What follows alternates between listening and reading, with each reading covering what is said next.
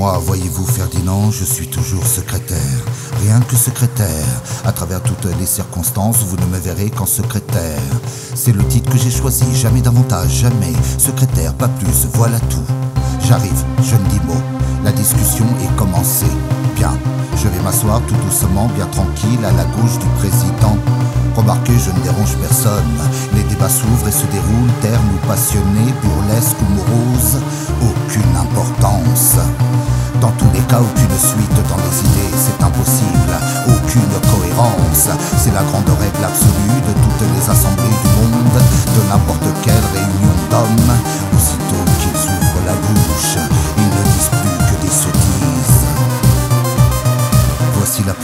du nombre, la loi écrasante des pendules de la bêtise. Elle entraîne tout, elle fatigue tout, elle écrase tout. Il ne s'agit pas de lutter, tout saigner autour de la table bavarde de ces brous vitupères. Oublie dès les premières paroles ce qu'ils avaient à raconter.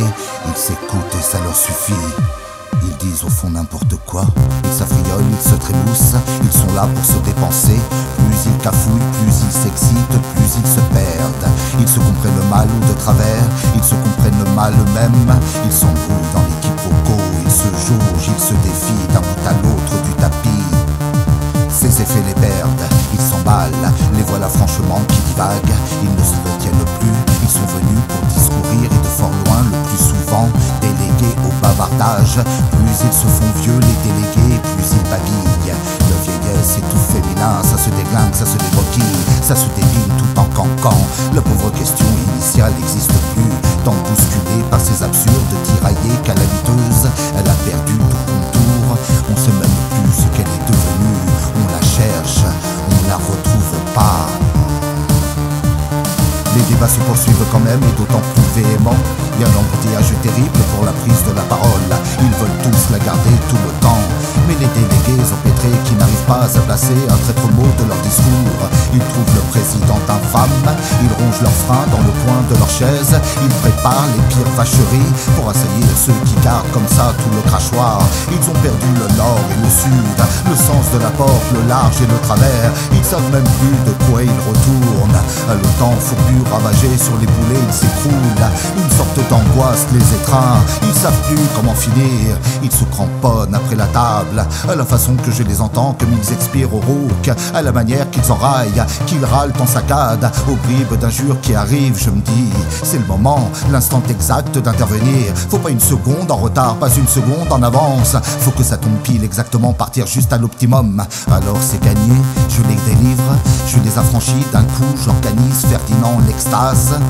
C'est après ça qu'il suffoque de cette ébullition de mots. Je connais le moyen de le faire jouir. Je donne à tout ce bavardage une sorte d'éjaculation. Je l'ai toujours là dans ma poche, dans un petit bout de papier. Au moment où ils en peuvent plus, où ils s'étranglent de confusion, où ils implorent l'atmosphère, je leur sors mon petit texte. Je déplie mon petit bout de papier, une résolution. Je la glisse au président, le pire radoteur de la bande, le plus éperdu de tous. Il se jette dessus, il la grippe, c'est écrit. Il a plus qu'à lire, à nonner, c'est fait. En entendant ce texte bien net qui leur arrive par miracle, qui clôt si bien leur débat, les autres alors, ils viennent au ils se rendent, ils adorent dans une allégresse, éjaculant à qui mieux mieux l'orgasme. Ils se détendent, ils se pardonnent, ils se caressent, ils se délectent, ils se congratulent. La vanité fait le reste. Ils se persuadent immédiatement qu'ils ont fini par jouir tout seuls. Je ne reste pas là moi-même. Je disparais, je m'efface, je les laisse à leurs effusions. Je n'ai rien dit, je n'ai rien fait. Je les ai toujours dans ma poche, mes résolutions, tout le temps des débats. Chaque matin, je les prépare. Ce sont des petites ordonnances. Je les rédige à la maison, dans le calme même, dans mon lit. Je suis là pour ça, Ferdinand, et c'est écrit. Tout écrit, mon ami, noir sur blanc, à l'avance, dans ma poche, avec mon petit crayon. C'est la décision, c'est l'ordre au bout du chaos. Je leur apporte leur délivrance, Ferdinand. Tous ces petits verbeux, hagards, diffus, chiffonnés, ils montent au plaisir tous ensemble. J'avais leur coït dans ma poche depuis le matin. Et je n'ai rien dit, Ferdinand, pas dit un mot à ce propos.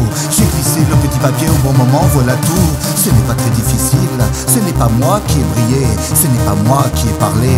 On ne m'a presque pas vu. Je ne couse jamais Ferdinand, je ne brille jamais Ferdinand, jamais. Retenez bien ceci, jamais ne briller, jamais Ferdinand.